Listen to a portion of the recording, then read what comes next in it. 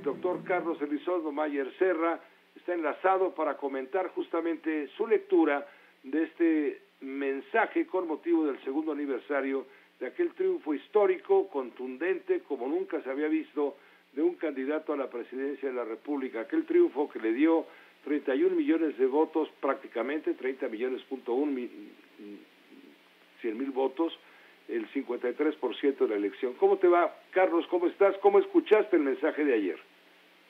¿Qué tal, Pepe? Buenas noches. Mira, fue un mensaje muy del presidente.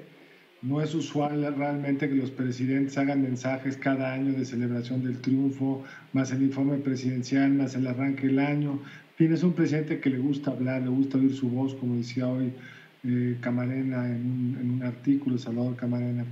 Pero dentro del estilo del observador vimos la cara, o ayer vimos la cara más amable, que sí buscó tener ciertos lazos de conciliación, entre otros los que cita hoy el presidente del, del INE.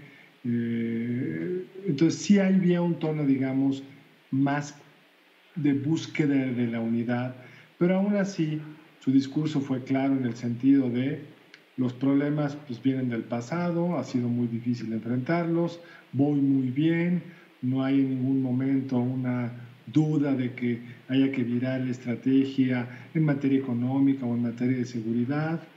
Y también, a pesar de, que hizo este comentario bastante favorable al INE, también cerró citando a Francisco Madero, quien dijo, y cito lo que citó el presidente, cuando justifica por qué se quiere volver el guardián electoral, cita Madero que en su momento dijo, al subir yo al poder voy, voy encarnando dos principios, uno de ellos sancionado ya por la Constitución y que de mí depende que se cumpla y que es el de la no reelección. Otro, el sufragio efectivo y continúa la cita. presidente pues no está en 1910, no está en 1911, está en otro momento donde existe un INE y el INE le va a tener, Pepe, que marcar los límites porque la presidencia en nuestro país, el gobernador en nuestro país, está muy acotado en qué puede hacer en un proceso electoral.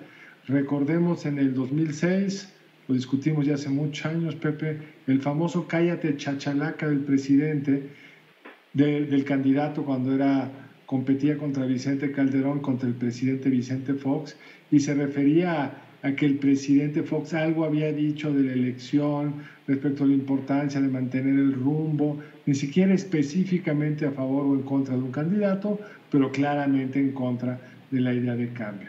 Entonces, qué bueno que el presidente estuvo en un ánimo celebratorio, en un ánimo conciliatorio, pero el presidente pues va cambiando con mucha frecuencia el discurso.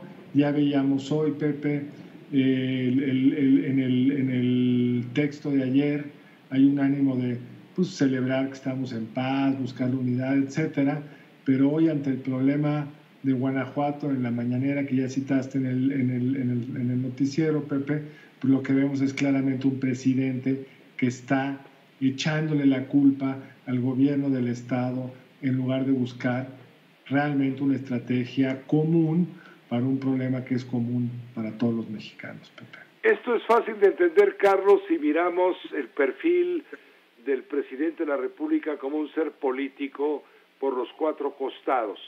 Siempre a cualquier solución de, del tipo práctico buscará siempre la salida política. Es el caso, bien lo señalas, de Guanajuato y la violencia desbordada.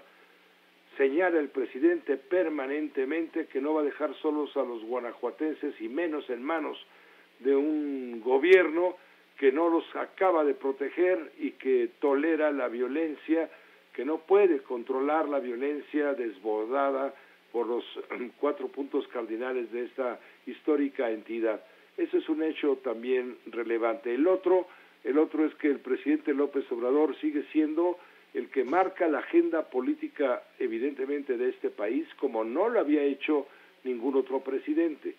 Ha habido casos en que sí, pero este es el caso más excepcional y todo es a base de esfuerzo, de levantarse temprano, de marcar la agenda y si es necesario volver a aparecer en la tarde o bien cuando son fechas señaladas como la de ayer o bien mandar videos los sábados y mandar videos los domingos y ocupar espacios en los medios de comunicación de manera constante y permanente. Así es, Pepe, y lo hace muy bien. El problema es que los resultados no están. Cuando uno compara lo que prometió el presidente en campaña, e incluso los 50 puntos que prometió en el Zócalo, pues las partes que involucran cambiar una ley lo han hecho bien, pues tienen el control de ambas cámaras, pueden sacar la legislación que quieran. Ahí está la Guardia Nacional, que también estábamos celebrando ayer el año de su arranque, pero los resultados en materia de seguridad no son lo que nos prometieron, ni en campaña ni cuando se creó la Guardia Nacional. Y en este conflicto con Guanajuato, el problema que tiene el presidente para avalar su discurso es que si Guanajuato fuera el único estado con problemas, pues sí podría explicarse por un mal desempeño de un gobernador y de un fiscal. El problema que tiene, lo vimos en el noticiero, como cualquier otro día, pues hay matanzas por todos lados. Los problemas de desbordamiento del crimen organizado lo vemos prácticamente a diario en varios estados y la responsabilidad jurídica en materia del crimen organizado es del gobierno federal. El gobierno estatal pues, tiene que investigar cualquier homicidio, pero si este homicidio es presuntamente vinculado con el crimen organizado y las matanzas que hoy reportamos en el noticiero Pepe son presuntamente vinculadas con el crimen organizado, le competen a la Fiscalía General.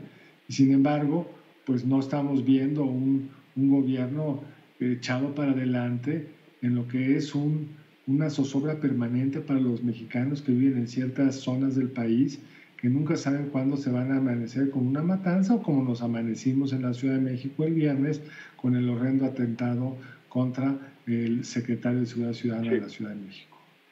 Muchas gracias, Carlos, como siempre, doctor, por estar con uno muy pendiente y comentando. Muchas gracias a ti, Pepe. Te mando un abrazo. Igualmente fuerte para ti, Carlos Elizondo Mayer Serra.